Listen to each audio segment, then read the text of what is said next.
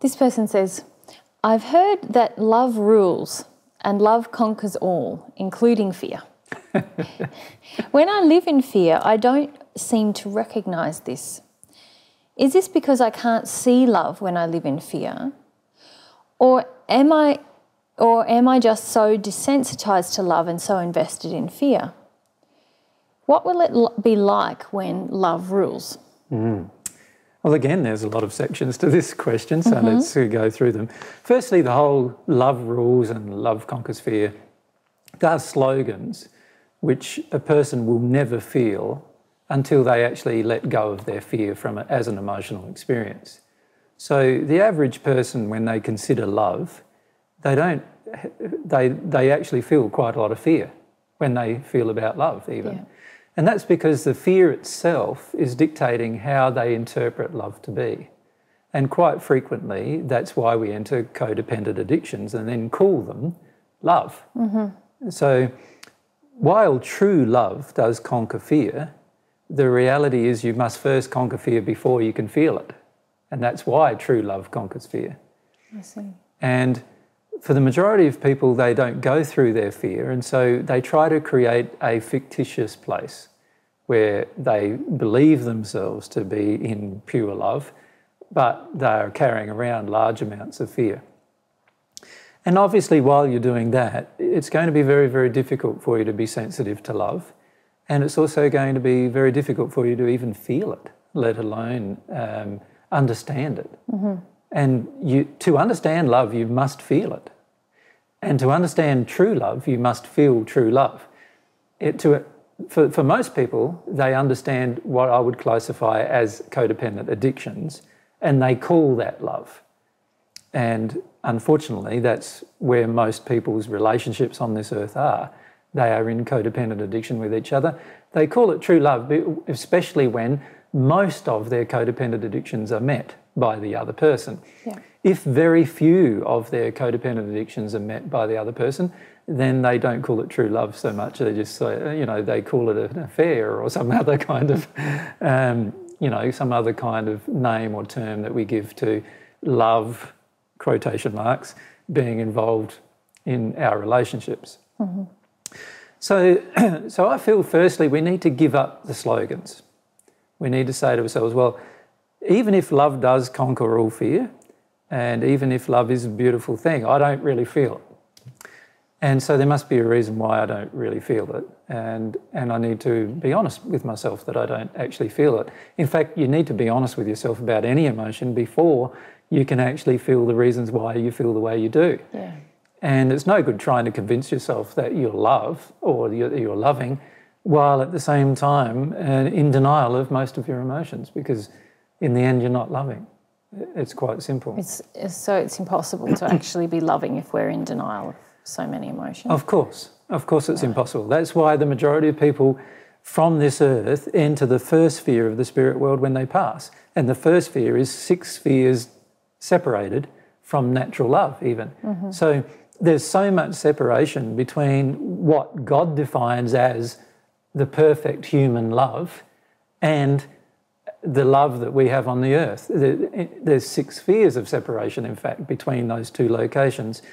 So we've got to understand that what we see love to be on earth is completely distorted, mm. completely out of harmony with the way God intended us to naturally live, even.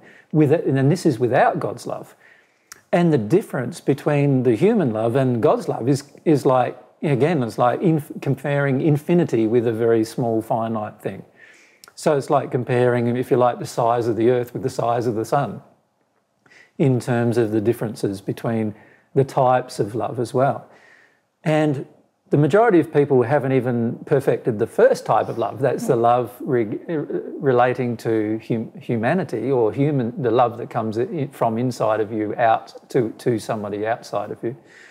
And because we haven't perfected that kind of love, in fact, we're nowhere near perfection of that kind of love.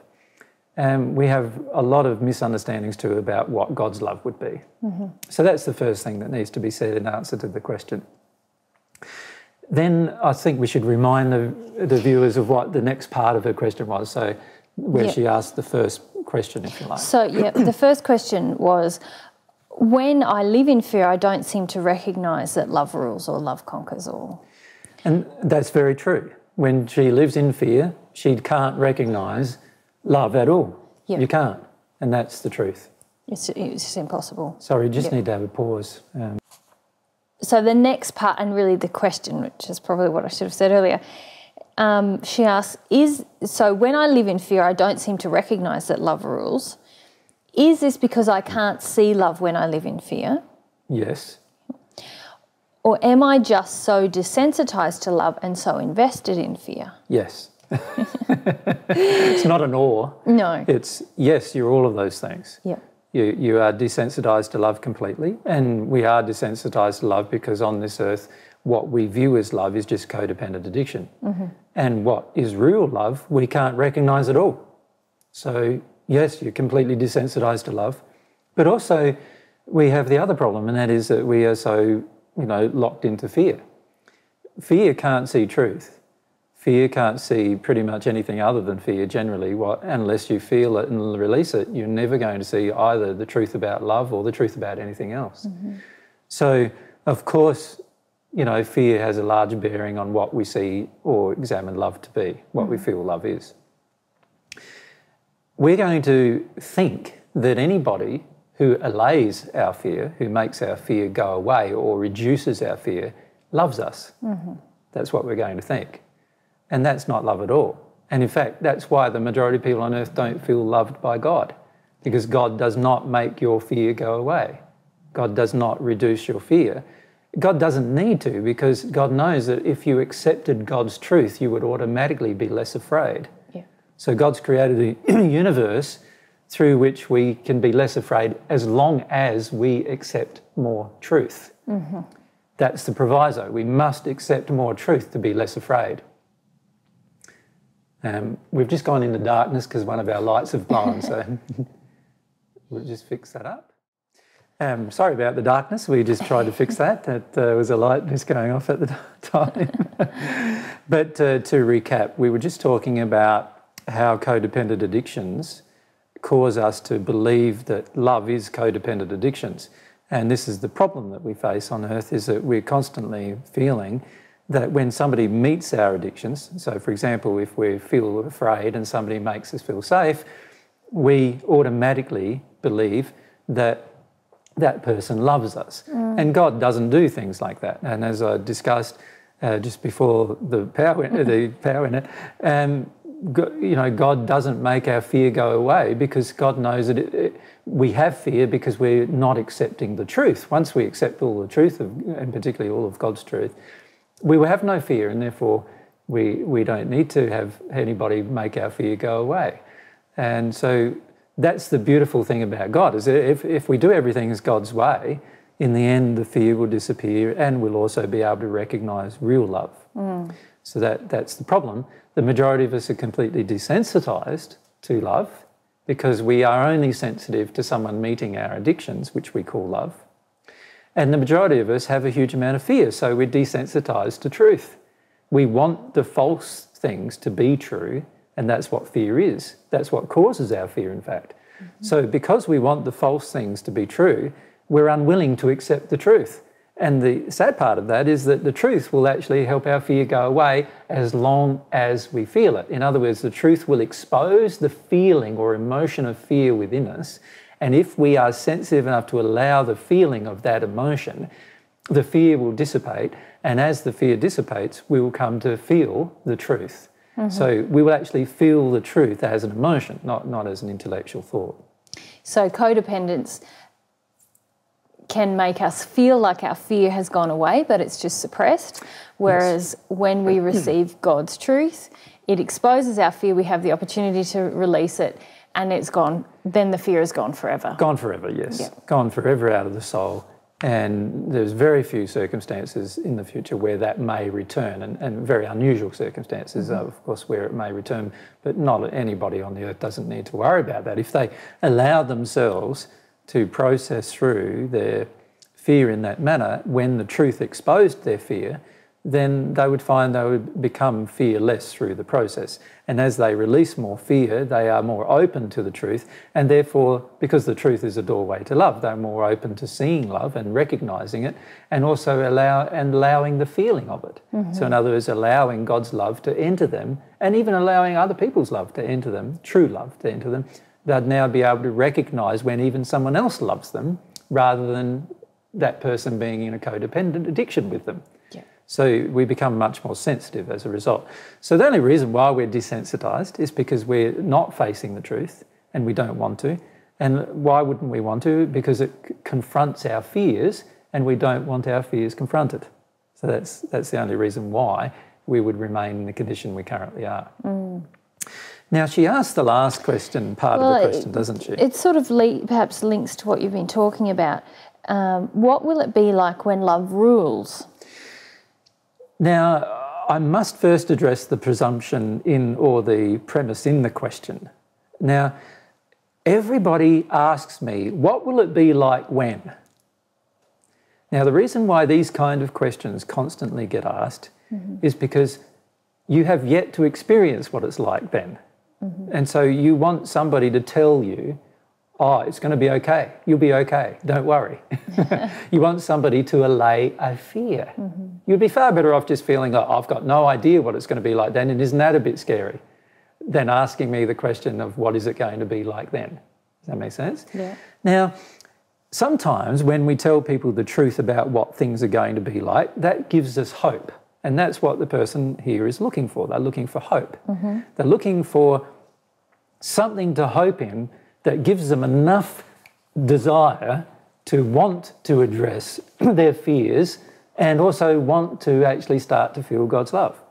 Now, I feel there are many, many hundreds of things could, that could be mentioned to, to help a person have that hope. And I'm not saying that having that hope isn't a bad thing. In mm-hmm. fact, it is a good thing. But real faith and real trust in the things that somebody states to you will only occur once you've processed fear, once you've actually gone through the emotion. So it doesn't matter how many things I list of what it will be like once you've dealt with fear. Um, it doesn't matter how many of those things I list, you are still going to remain in fear and therefore not be able to feel anything that I'm saying to you. Mm-hmm. And it's only by going through the fear that you'll be able to feel any of the good parts about what it feels like to not have fear. Mm-hmm. And this is the problem with many of these kind of questions. These kind of questions sort of, all they do is feed the intellect, but they don't give you any confidence or, or make any emotional shifts in you enough to actually have you deal with the actual emotion that's preventing you from having the good experience. Mm-hmm.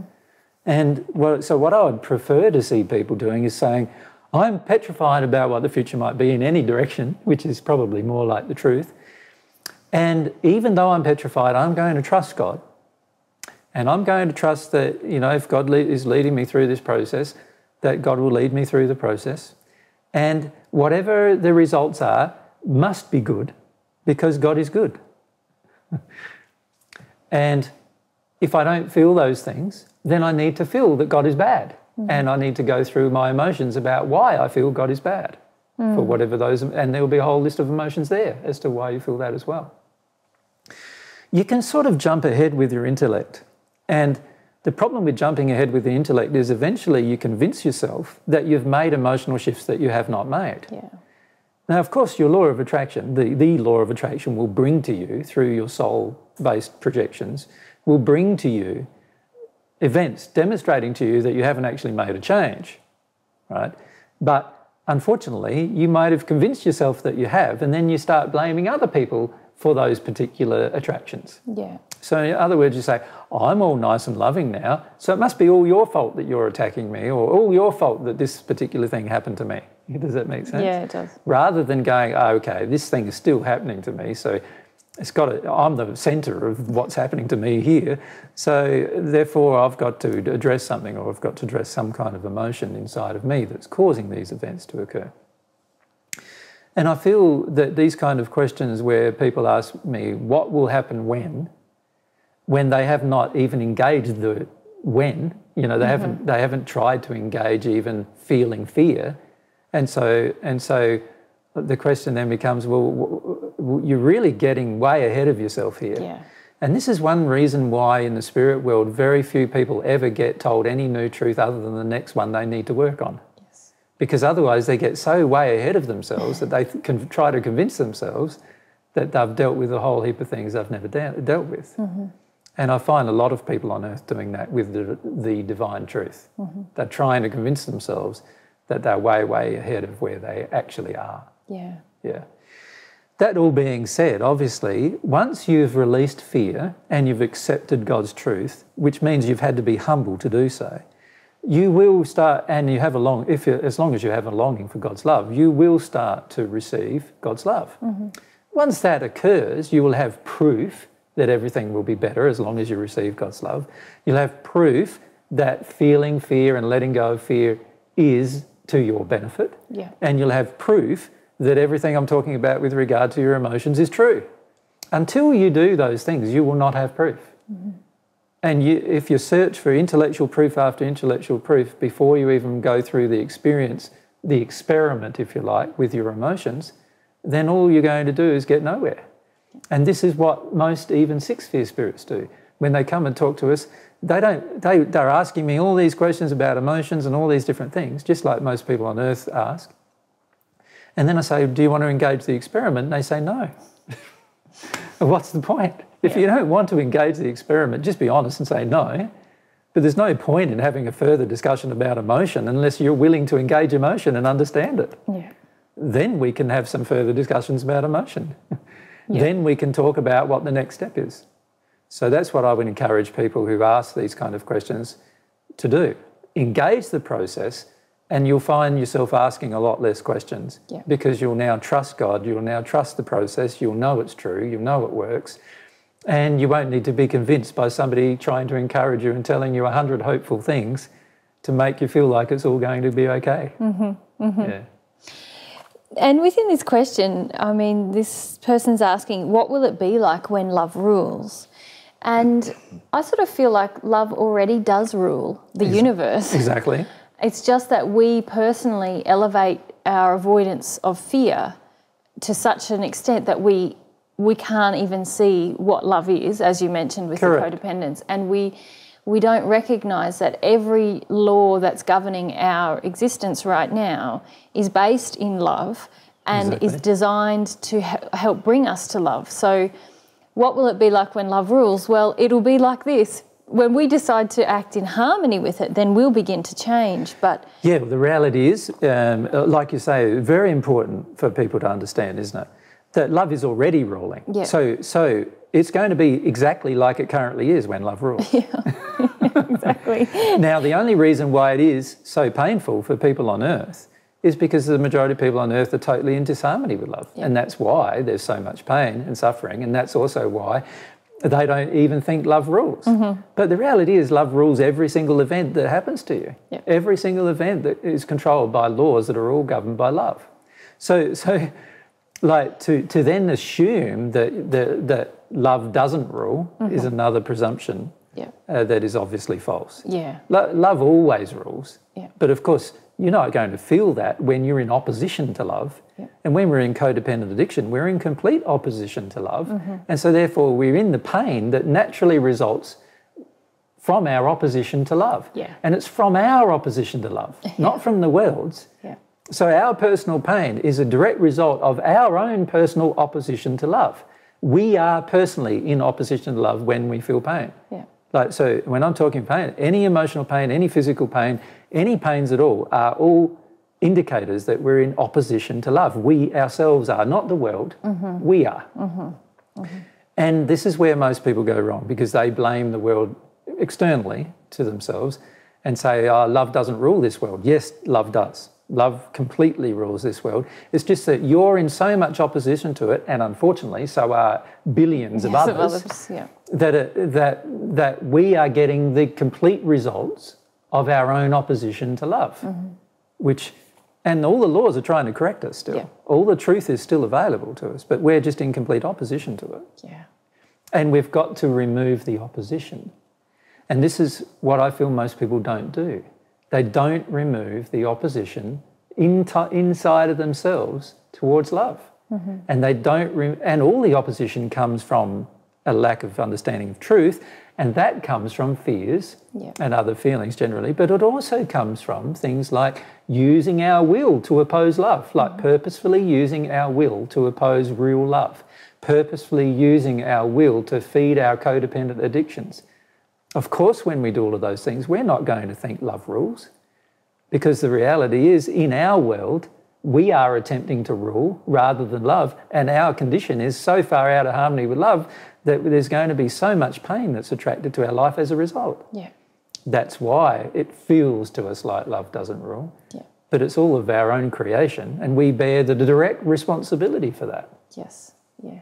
So there's a lot of misunderstandings and premises in these kind of questions that that while I can answer the questions more directly, the whole premise of the question is usually so flawed that um, there's no much point answering yeah. the question directly. Yeah. yeah. Yeah. Okay. Good day.